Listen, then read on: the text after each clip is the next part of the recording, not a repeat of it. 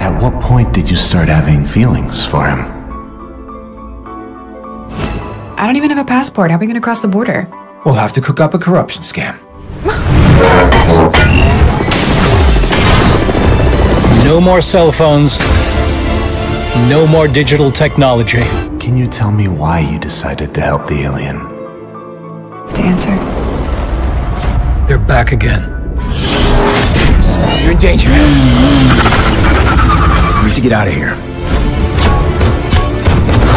Not from this planet. You know, I'll be fine.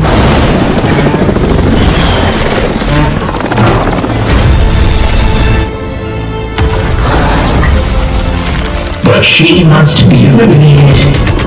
So this is a sign.